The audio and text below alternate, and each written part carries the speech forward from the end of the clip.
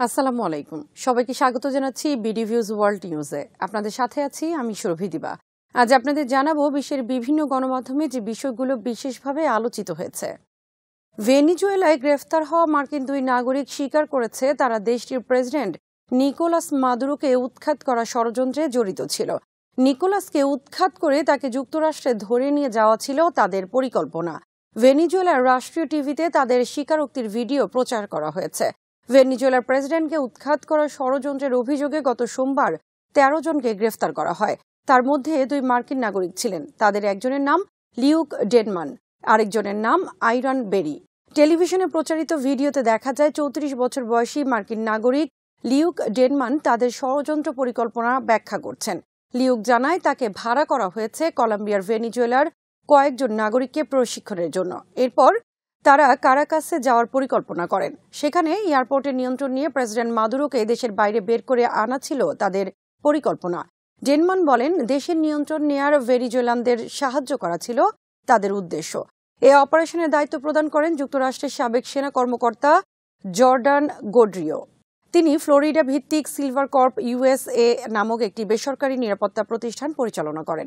Venezuela জানিয়েছে Jordan গোড্রিও স্বীকার করেছে সে এ ঘটনায় জড়িত। তাকে ভেনিজুয়েলায় আনার চেষ্টা করা হবে। মার্কিন নাগরিকের স্বীকারোক্তি প্রচারের পর টিভিতে ভেনিজুয়েলার প্রেসিডেন্ট নিকোলাস মাদুরো বলেন, মার্কিন যুক্তরাষ্ট্রের প্রেসিডেন্ট ডোনাল্ড ট্রাম্প হলেন এই অপারেশনের মূল হোতা। তাকে উৎখাত করার জন্য মার্কিন সিলভার কর্প চুক্তি করেছে বিরোধী নেতা জুয়ান গুয়াইডোর সাথে। ভেনিজুয়েলার আর্মি জানিয়েছে, মার্কিন এই দুই নাগরিক মার্কিন সিকিউরিটি ফোর্সের সদস্য। সোমবার তাদের গ্রেফতারের সময় আটজন অস্ত্রধারী নিহত হয়।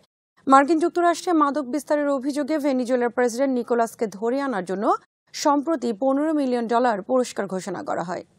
ভারতের অন্ধ্রপ্রদেশের প্লাস্টিক কারখানা থেকে ছড়িয়ে পড়া বিষাক্ত গ্যাসে অন্তত আটজন নিহত ও প্রায় পাঁচ হাজার মানুষ আক্রান্ত হয়েছেন। মারা গেছে বহু গবাদি পশু পাখিও। মৃত্যুর সংখ্যা বাড়ছে। শত শত লোককে হাসপাতালে ভর্তি করা হয়েছে। কারখানাটির আশেপাশে পাঁচ কিলোমিটার এলাকার লোকজন সরিয়ে নেওয়া হয়েছে। অনেকে এলাকা ছেড়ে চলে গেছেন। করোনা ভাইরাসের কারণে গত চল্লিশ দিন ধরে বন্ধ থাকার পর এলজি পলিমার নামের কারখানাটি আবারও সচলের চেষ্টার সময় বিষাক্ত গ্যাস ছড়িয়ে পড়ে। এই প্লান্টটি মূলত পলিস্ট্রিন তৈরি করে, যা দিয়ে বিভিন্ন ধরনের প্লাস্টিকের খেলনা এবং অন্যান্য প্লাস্টিকের জিনিস তৈরি করা হয়। বুধবার রাত আড়াইটার দিকে ওই কারখানা থেকে গ্যাস ছড়িয়ে পড়তে শুরু করে। তবে গ্যাস ছড়িয়ে পড়ার কারণ এখনও জানা যায়নি। অন্ধ্রপ্রদেশের বিশাখাপত্তনমের এক পুলিশ কর্মকর্তা জানিয়েছেন, বিষাক্ত গ্যাস ছড়িয়ে পড়ার সময়ে কারখানাটিতে খুব কম সংখ্যক কর্মী নিয়োজিত ছিল। কারখানার পাঁচ হাজার টনের ট্যাঙ্ক থেকে গ্যাস ছড়িয়ে পড়তে থাকে। করোনা ভাইরাস লকডাউনের কারণে মার্চের পর থেকে ওই ট্যাঙ্কের আর কোনো রক্ষণাবেক্ষণ হয়নি। এর ফলে রাসায়নিক বিক্রিয়া এবং তা থেকে সৃষ্ট তাপের কারণে গ্যাস লিক হয়ে থাকতে পারে বলে প্রাথমিক ধারণা করা হচ্ছে বলে জানান তিনি। যুক্তরাষ্ট্রের প্রেসিডেন্ট ট্রাম্প বলেছেন, মার্কিন ইতিহাসের সবচেয়ে বড় হামলা হল করোনা আক্রমণ। করোনা আক্রমণের জন্য চীনের দিকে আঙ্গুল তুলে তিনি বলেন, এ হামলা পার্ল হারবার আক্রমণের চেয়েও জঘন্য। ট্রাম্প বলেন, দ্বিতীয় বিশ্বযুদ্ধের সময় জাপানিদের পার্ল হারবার ঘাঁটিতে হামলা আর এগারো সেপ্টেম্বর টুইন টাওয়ার হামলার চেয়েও করোনা প্রাদুর্ভাবের ফলে যুক্তরাষ্ট্র বেশি ক্ষতিগ্রস্ত হয়েছে। হোয়াইট হাউস ওভাল অফিসে সাংবাদিকদের ট্রাম্প কথা বলেন। তিনি বলেন, মার্কিন ইতিহাসে এত বড় হামলা আর হয়নি। আর এটা কখনো হওয়া উচিত ছিল না। শুরুতেই এটা থামানো যেত। চীনেই করোনা ভাইরাস থামিয়ে রাখা যেত। করোনা আক্রমণ মার্কিন যুক্তরাষ্ট্রের বিরুদ্ধে যুদ্ধ কিনা জানতে চাইলে ট্রাম্প বলেন, আমি এ অদৃশ্য শত্রুকে একটি যুদ্ধ বলে মনে করি। বিশ্বব্যাপী করোনায় আক্রান্ত এবং মৃত্যুর সংখ্যা প্রায় এক সপ্তাহ কিছুটা কমার পর আবার ব্যাপকভাবে বৃদ্ধি পেয়েছে। বৃহস্পতিবার দুপুর পর্যন্ত বিশ্বে করোনায় মৃত্যুর সংখ্যা ছাড়িয়েছে দুই লাখ পঁয়ষট্টি হাজার। আগের দিনে একই সময় মৃত্যুর সংখ্যা ছিল দুই লাখ উনষাট হাজার। সেই হিসেবে চব্বিশ ঘন্টায় বিশ্বে করোনায় মারা গেছে ছয় হাজারের বেশি মানুষ। বৃহস্পতিবার দুপুর পর্যন্ত বিশ্বে মোট আক্রান্তের সংখ্যা ছাড়িয়েছে আটত্রিশ লাখ চল্লিশ হাজার। বুধবার কয়েকটি দেশে দৈনিক মৃত্যুর সংখ্যা দ্বিগুণ হয়েছে। বাংলাদেশে গত চব্বিশ ঘন্টায় নতুন করে সাতশো ছয় জনের মধ্যে করোনা ভাইরাস শনাক্ত হয়েছে। এ নিয়ে বাংলাদেশে ভাইরাস আক্রান্তের সংখ্যা দাঁড়াল বারো হাজার চারশো পঁচিশ জনে। তবে গত চব্বিশ ঘন্টায় কোভিড নাইন্টিনে কতজন মারা গেছে তা জানানো হয়নি নিয়মিত স্বাস্থ্য বুলেটিনে।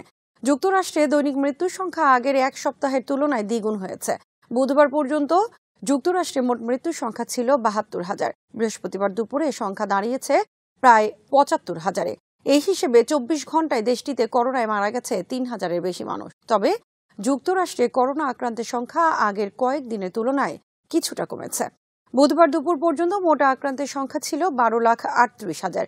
বৃহস্পতিবার দুপুর পর্যন্ত এ সংখ্যা ছাড়িয়েছে বারো লাখ পঁয়ষট্টি হাজার। করোনায় মৃত্যুর সংখ্যা বাড়ার পরেও লকডাউন তুলে নেওয়া বিষয়ে ট্রাম্প আবারও বলেছেন মানুষ মারা যাবে এটা মেনে নিয়েই আমাদের নেমে পড়তে হবে। ফক্স নিউজকে দিয়ে সাক্ষাৎকারে ট্রাম্প বলেন, আমাদেরকে যোদ্ধা হতে হবে। ব্রাজিলে একদিনে আক্রান্ত হয়েছে দশ হাজার পাঁচ শতাধিক। চব্বিশ ঘন্টায় রেকর্ড পরিমাণে আক্রান্তের ঘটনা ঘটে। ব্রাজিল স্বাস্থ্য মন্ত্রণালয়ের তথ্য অনুসারে, বুধবার মারা গেছে ছয়শো পনেরো জন। রাশিয়ায় করোনা আক্রান্তের সংখ্যা দ্রুত বাড়ছে। বৃহস্পতিবার দুপুর পর্যন্ত মোট আক্রান্তের সংখ্যা ছাড়িয়েছে এক লাখ ছেষট্টি হাজার। সরকারি হিসেবে মারা গেছে দেড় হাজারের বেশি। যুক্তরাজ্যে শুধুমাত্র হাসপাতালে করোনার মৃত্যুর সংখ্যা ছাড়িয়েছে ত্রিশ হাজার। কয়েকদিন কমার পর যুক্তরাজ্য এবং ইটালিতে দৈনিক মৃত্যুর সংখ্যা বুধবার দ্বিগুণ হয়েছে। যুক্তরাজ্যে ছয় শতাধিক এবং ইটালিতে চার শতাধিক মারা গেছে। ভারতে একদিনে করোনায় আক্রান্ত হয়েছে তিন হাজার পাঁচশো একষট্টি জন। এটি এখন পর্যন্ত একদিনে সর্বোচ্চ সংখ্যক আক্রান্তের ঘটনা ভারতে। ভারতে করোনায় মারা গেছে এক হাজার আটশো জন প্রায়। আক্রান্তের সংখ্যা ছাড়িয়েছে তিপ্পান্ন হাজার। পাঁচ মাসের বেশি সময় ধরে অচল অবস্থা চলার পর অবশেষে নতুন প্রধানমন্ত্রী ও নতুন সরকার নির্বাচনে সক্ষম হয়েছেন ইরাকের আইন প্রণেতারা। ইরাকের পার্লামেন্টে আস্থা ভোটে মোস্তফা আল কাজিমি নেতৃত্বাধীন মন্ত্রিসভা জয়লাভ করেছে। দু হাজার উনিশ সালের উনত্রিশে নভেম্বর আদিল আব্দুল মাহদি প্রধানমন্ত্রীর পদ থেকে সরে দাঁড়ানোর পর গত কয়েক মাসে ইরাকে নতুন প্রধানমন্ত্রী নির্বাচন নিয়ে রাজনৈতিক দলগুলোর মধ্যে মতবিরোধ দেখা দেয়। এই সময়ের মধ্যে কয়েকজনকে মন্ত্রিসভা গঠনের সুযোগ দেওয়া হলেও শেষ পর্যন্ত তারা আস্থা ভোটে টিকতে পারেননি। গত নয় এপ্রিল সাবেক সাংবাদিক ও গোয়েন্দা প্রধান মোস্তফা আল কাজিমিকে মন্ত্রিসভা গঠনের দায়িত্ব দেওয়া হয়। রাজনৈতিক দলগুলোর সঙ্গে দফায় দফায় সলা পরামর্শের পর তিনি পার্লামেন্টে মন্ত্রীদের তালিকা পেশ করেন। ভোটাভুটিতে কাজিমির তালিকায় থাকা স্বরাষ্ট্রমন্ত্রী, প্রতিরক্ষা মন্ত্রী, অর্থমন্ত্রী ও বিদ্যুৎ মন্ত্রীও জয়লাভ করেছেন। প্রার্থীদের নিয়ে সমঝোতায় না পৌঁছাতে পারায় তেল ও পররাষ্ট্রমন্ত্রী পদে ভোটাভুটি বিলম্বিত করা হয়েছে। এছাড়া কাজিমি মনোনীত আইনমন্ত্রী, কৃষিমন্ত্রী ও বাণিজ্য মন্ত্রী প্রার্থীকে প্রত্যাখ্যান করেছে আইন প্রণেতারা। নোভেল করোনা ভাইরাসের সংক্রমণের পর বিমান চাহিদায় অভাবনীয় পতন দেখা দিয়েছে। টিকে থাকতে নানামুখী পদক্ষেপ নিতে বাধ্য হচ্ছে বিমান পরিবহন সংস্থাগুলো। এ অবস্থায় বড় ধরনের সম্ভাব্য ছাঁটাইয়ের বিষয়ে কর্মীদের সতর্ক করেছে কাতার এয়ারওয়েজ। মূলত কোভিড নাইন্টিন সংক্রমণ প্রতিরোধ বিশ্বব্যাপী ভ্রমণ নিষেধাজ্ঞা জারি ও বিমানবন্দর বন্ধ হয়ে যাওয়ায় মারাত্মক ক্ষতির মুখে পড়েছে উপসাগরীয় এ এয়ারলাইন্স। মধ্যপ্রাচ্য ও উত্তর আমেরিকায় উড়োজাহাজের চলাচল এবছর অর্ধেকেরও বেশি কমে যাবে বলে গত মাসেই সতর্ক করেছিল the international air transport association. এরই মধ্যে সরকারি সাহায্যের জন্য আবেদন করেছে বহু বিমান পরিবহন সংস্থা। এ পরিস্থিতিতে কর্মীদের কাছে পাঠানো এক নোটিশে কাতার এয়ারওয়েজের প্রধান নির্বাহী বলেছেন, আমরা আমাদের বর্তমান কর্মী সংখ্যা ধরে রাখতে পারছি না। ফলে আমাদের উল্লেখযোগ্য সংখ্যক কর্মী ছাঁটাইয়ের সিদ্ধান্ত নিতে হবে। তবে সংস্থাটির ত্রিশ হাজার কর্মীর মধ্যে ঠিক কতজন ছাঁটাইয়ের ঝুঁকিতে রয়েছেন তা স্পষ্ট করা হয়নি। বিশ্বব্যাপী বিলাসবহুল বিভিন্ন প্রমোত্তরিতে এখনও আটকা পড়ে আছে সাতান্ন হাজার ক্রু। মার্কিন যুক্তরাষ্ট্র, বাহামা এবং ক্যারিবীয় বিভিন্ন বন্দরের আশেপাশে চুয়াত্তরটি ক্রুজ শিপে এসব নাবিক ও জাহাজের স্টাফ আটকা রয়েছে। মার্কিন কোস্টগার্ড এ তথ্য জানিয়েছে, করোনা ছড়িয়ে পড়ার পর বিশ্বের বিভিন্ন প্রান্তে সমুদ্রে হাজার হাজার যাত্রী দিনের পর দিন আটকা পড়ে। ধীরে ধীরে তাদের বিভিন্ন বন্দরে নামিয়ে দেওয়া হলেও জাহাজের ক্রু সদস্যরা এখনও সমুদ্র জাহাজেই রয়ে গেছেন। এছাড়া সমুদ্রগামী জাহাজের নাবিকরাও করোনা সংকটের মধ্যে পড়েছেন। অনেকে বিভিন্ন বন্দরে আটকা পড়ে আছেন, যেখানে সংক্রমণের ঝুঁকি রয়েছে। এরই সাথে শেষ করছি আমাদের আজকের আয়োজন। বিশ্বের নানা গণমাধ্যমের উল্লেখযোগ্য সংবাদ নিয়ে কাল আবার হাজির হব। সেই পর্যন্ত সবাই ভালো থাকুন, সুস্থ থাকুন আর নিরাপদে থাকুন। আর দেখতে থাকুন বিডি ভিউজ আল্লাহ হাফেজ।